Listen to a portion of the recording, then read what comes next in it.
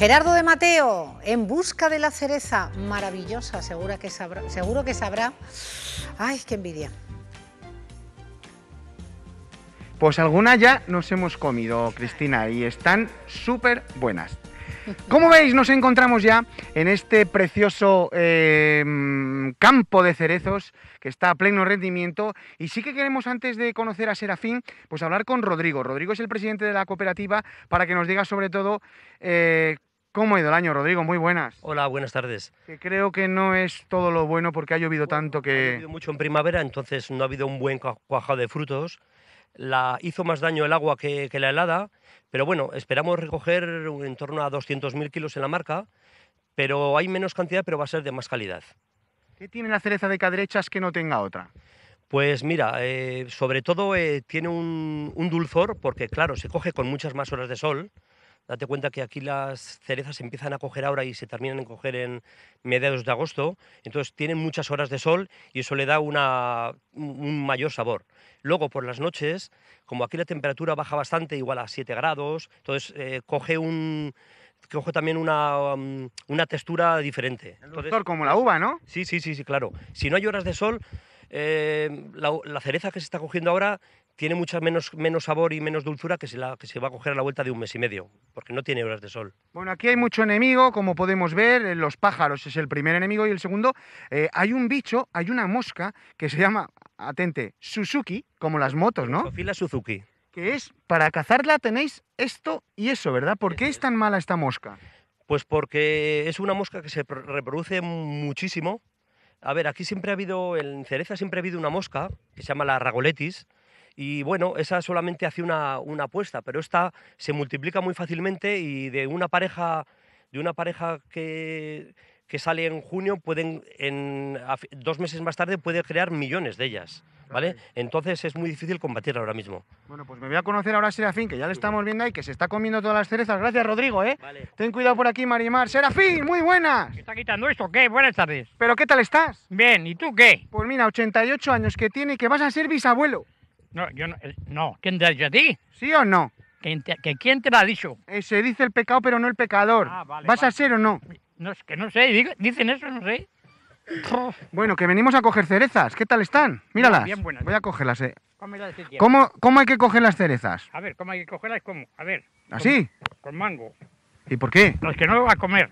¿Y por qué? ¿Por qué hay que cogerlas? Ah, no se pueden vender así. Ah, sí, muy bien. ¿Y por qué se debe de coger así y no sin el rabo? Porque se, se pasan enseguida sin, sin el rabo. Claro, como los hombres, ¿no? Sí, sí, los hombres también se pasan, ¿eh?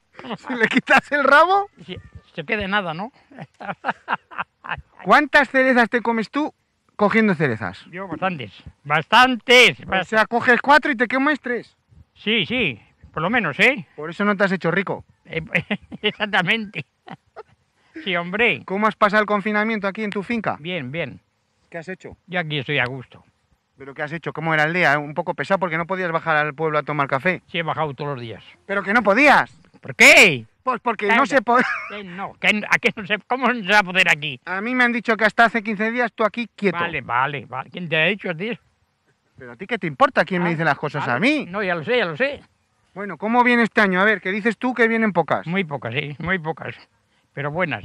¿Y eso cómo lo sabéis? Mira las que hay. pero Serafín, que yo no entiendo de cerezas, el que entiendes eres tú. No lo ves las que hay. ¿Eh? Que viene me estás viendo así, con la mascarilla y dices, ¿pero quién es este?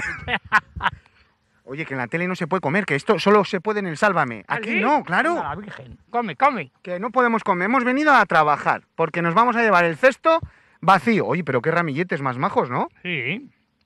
¿Qué te parece? explícanos, porque hay dos tipos de cerezo. El temprano, pero deja de comer. deja de comer. El temprano, sí. ¿Y, qué diferencia hay? Mm, pues no sé.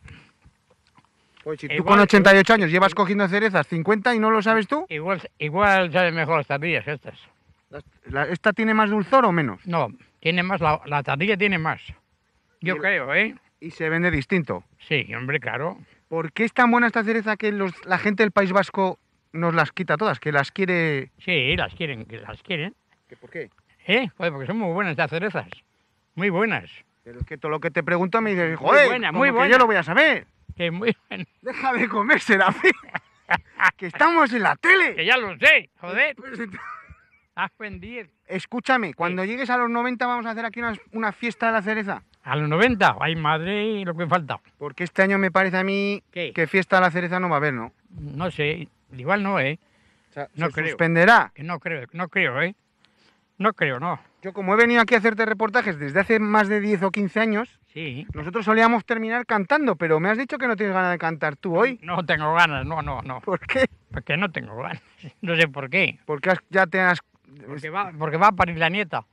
Pero dentro de dos o tres meses. No sé cuánto tardará. Oye, ¿y si la llamamos caderechas a la niña? ¿Eh? Pues sí, estaría bien, ¿eh? Pero claro, va a ir andando y le van a decir, mira de las caderechas, Ah, que vaya derecha la ya niña. se lo diremos al padre, a ver lo que- Tienes nueve ¿Eh? nietos. Sí, no, sí, nueve, nueve. ¿Y hay alguno tu ojito derecho? ¿Eh? Va, no son todos iguales, para mí. ¿De buenos o de piezas? Para mí, todos iguales, ¿eh? Y cuando llega la primavera, aquí todos a coger cerezas, ¿no? Hombre, claro. Sí, ¿Verdad que hombre. sí? Bueno, pues si te parece, nosotros vamos a seguir cogiendo las cerezas Vale, vale. y, Coge hasta que llenes el caldero. Y luego me darás otro, claro, como siempre. Claro. claro que sí. Me ha contado antes ¿Qué? que cuando era el joven tenía cerezos que solo un árbol podía recogerse 1100 kilos. Sí, muchos muchos kilos, no sé cuántos, ¿eh? Igual, sí, igual sí, ¿eh? Pero solo con un cerezo. Un cerezo, ya lo sé, ahí, ahí, ahí- ahí mismo estaban.